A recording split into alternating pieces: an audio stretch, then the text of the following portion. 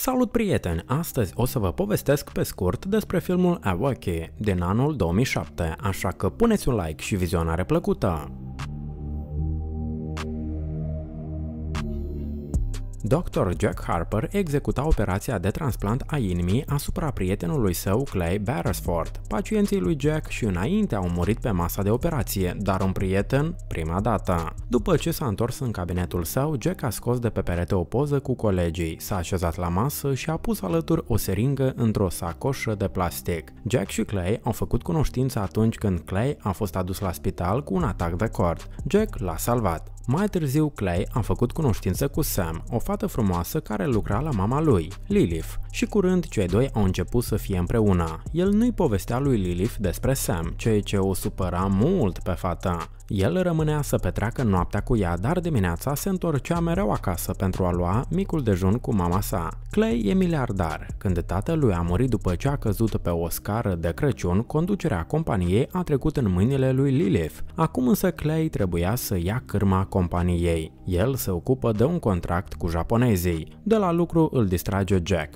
care îl cheamă la pescuit. Între timp, Jack insistă ca Clay să se căsătorească cu Sam. El spune că fata și așa așteaptă prea mult timp. La spital, Jack îl avertizează pe Clay că în timpul transplantului de inimă poate să moară, dar și fără inimă nu va putea să trăiască. El e nevoit să ia pastile mereu. Când Clay iese din spital, îl întâlnește Sam, dar trece pe lângă ea, fiindcă după el a venit Lilith. Mama lui îi face cunoștință cu doctorul Jonathan Nair. El e un chirurg cu renume mondial. Lilith insistă că anume el să-i facă operația, dar Clay e împotriva. El vrea ca de asta să răspundă anume prietenul lui Jack. Iată că vine Halloween-ul. Clay merge la petrecere în costum militar. Acolo deja petrec timpul bine japonezii, cu care el trebuie să semneze contractul. Și Clay se descarcă bine cu responsabilitățile sale. După asta, el se întoarce acasă și vorbește cu mama lui. Ea îi propune să meargă în China pentru a găsi un donator în piața neagră a organelor. Clay e nevoit să aștepte prea mult timp inima de la donator. Aici în America și e îngrijorat dar o liniștește pe Lilith și dă de înțeles că totul se va întâmpla atunci când va veni timpul. Să mai aduce lui Lilith documentele pentru semnare, apoi pleacă. Fata e supărată, dar Clay o întoarce și povestește totul mamei. Datorită lui Jack înțelege că poate să moară în timpul operației și de aia vrea să rezolve toate treburile înainte de transplant. Și una dintre treburi este să se căsătorească cu Sam. Lilith nu este încântată de perechea lor, dar Clay nu atrage atenția la asta. Când iese din casă, o cere în căsătorie. În aceeași zi, Jack găsește pentru ei un preot și organizează nunta. În noaptea anunții lui Clay îi vine mesaj că inima pentru transplant a fost găsită. Împreună cu Sam merge la spital, unde îi întâlnesc Jack și alt doctor care va asista la operație. Dr. Putman. În hol apare și sora medicală care va fi prezentă în timp timpul operației, Penny Carver. Și Lilith a fost anunțată. Ea ajunge la spital împreună cu Dr. Nair. Ea insistă că anume el să-i fie chirurgul, dar Clay are mai multă încredere în prietenul său decât într-un chirurg necunoscut, chiar dacă este faimos. Jack este adus în sala de operație, iar Lilith rămâne cu Sam în sala de așteptare. Sam o ajută cu băuturile și încearcă să comunice cu ea. Pe Jack și Putman îi așteaptă o surpriză. În locul anesteziologului lor, în sala de operație intră alt om. Îl cheamă Larry și a fost trimis să-l înlocuiască pe medicul lor. Jack nu e încântat, dar ce poate să facă? Lui Clay îi este introdusă anestezia. El adorme, dar continuă să simtă totul. El încearcă să strige, dar nu poate. Jack îi taie pielea, apoi cutia toracică. Și toate astea Clay le simte, dar e incapabil să facă ceva. Încearcă să se concentreze pe Sam ca să se îndepărteze de durere. Dar îi apar imaginile cu înmormântarea tatălui. Cât Clay se luptă cu durerea, de Sam se apropie un asistent medical și o întreabă dacă nu s-au văzut înainte. Sam îi arată inelul de logodnă ca să o lase în pace. Lilith observă inelul și Sam îi povestește că s-a căsătorit cu fiul ei. Apoi ea de în întâmplare scapă geanta și de acolo cad pastilele lui Clay. Sam îi dă de înțeles că mereu l-a iubit pe fiul ei și a avut grijă de el. Lui Lilith se pare că este simpatică fata. În sala de operație a fost adusă inima de la donator. Jack îl trimite pe Larry în sala de așteptare ca el să se odihnească, căci anesteziologul n-are ce face aici. După ce ușa din urma lui se închide, Jack, Penny și Putman au început să vorbească sincer. Jack este îngrijorat, el crede că Larry a fost trimis să-i spioneze. Lui se pare că cineva a observat că el a tot amânat operația, că îl tot muta pe Clay mai jos în lista de așteptare pentru inima de donator. Jack și Putman o trimit pe fată să stea de gardă în hol în caz că Larry se întoarce și singur discută că trebuie să introducă o substanță în inima donatorului ca să nu se se prindă în corpul lui. Ei vor să-l ucidă pe Clay. El n-are de gând să lase totul așa. El trece peste durere, deschide ochii, se ridică de pe masa de operație și vede cum corpul lui a rămas acolo. Clay umblă pe holul amintirilor sale, încercând să se lămurească în această situație. Sam, între timp, îl întreabă pe doctor despre starea soțului său. Discuția o aude Larry. El spune că este anesteziologul lui Clay. Auzind asta, ea pleacă. Merge în sala de operație și Clay aude discuția cu medicii. Se dovedește că Sam știe că Clay va fi ucis. Ea intenționat a făcut așa ca el să se căsătorească cu ea. A încrezut-o pe Lilith în sine pentru a primi moștenire după moarte.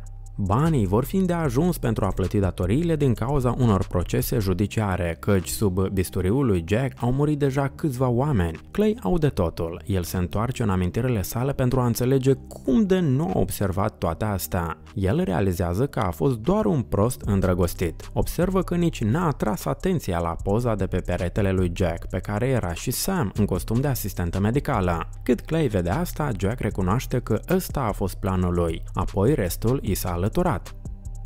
De la început, Penny trebuia să-l seducă pe Clay, dar apoi s-a aflat că e însărcinată, așa că de treabă s-a luat Sam. Jack a decis să facă bani pe moartea miliardarului, când el a ajuns la spital cu un atac de cord. Necătând la asta, Jack are dubii. De aia Sam singură ia în mână seringa cu substanța care trebuie introdusă în inimă și îl dă lui Jack. Acesta introduce substanța și începe transplantul. El simte cum din piept este scoasă inima lui proprie și din ochii lui curge o lacrimă. Clay înțelege că Larry o poate observa, așa că se întoarce rapid în sala de operație ca să-l ghideze pe anesteziolog, să-i arate că simte totul, dar el e prea neatent. Lilith are o presimțire, ea înțelege că ceva nu-i regulă cu fiul său, dar Sam o liniștește. Clay e disperat, el pleacă din spital și merge acasă. Între timp, medicii termină operația, dar inima nu se prinde. Ei fac tot după instrucțiuni, dar organul donatorului refuză să funcționeze.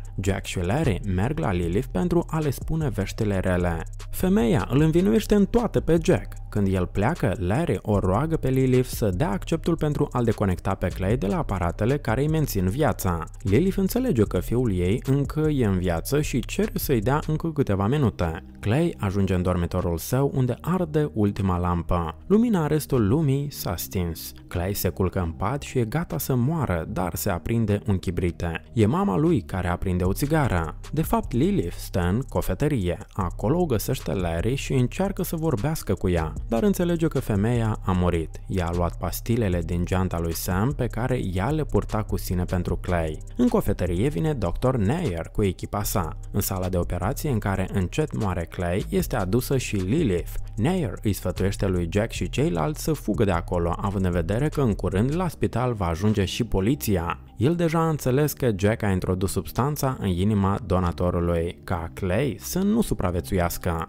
Lilith îi povestește fiului cum a decis să facă asta. Inima ei e perfectă pentru transplant. De aia a decis să jertfească cu sine. Ea nu avea încredere în nimeni din acest spital și de aia l-a chemat pe Neyer. După ce a luat geanta lui Sam ca să ia pastilele, a descoperit și scrisorile, iar pe scrisor era alt nume. Atunci Lilith și-a amintit toate detaliile la care n-a tras atenția până atunci. Ea a înțeles că Sam a lucrat în acest spital. Știa cum să folosească tonomatul, o cunoscuse asistentul medical și a înțeles că Larry e din alt spital. Putman și Penny încearcă să fugă, dar Larry îi prede poliției. Jack și Sam merg în cabinetul lui. Aici Sam spune că poliția nu va afla despre ea, fiindcă e doar o iată văduvă. Dar Jack se închide în cabinet și îi arată seringa pe care fata a lăsat amprentele sale. Oricum nu l-ar fi rugat Sam să deschidă ușa, Jack o ignoră.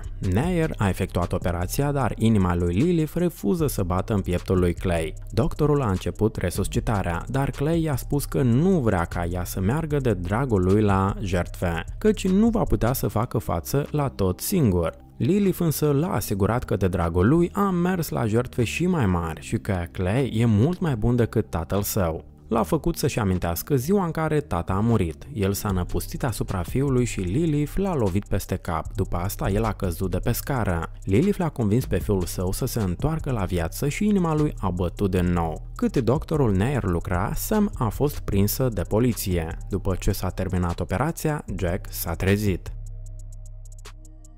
Hei prieteni, cam atât pentru astăzi. Scrieți-ne în comentarii dacă v-a plăcut acest episod. De asemenea, abonați-vă la canalul nostru, apăsați clopoțelul pentru a nu rata noile videoclipuri și puneți un like. Pe curând!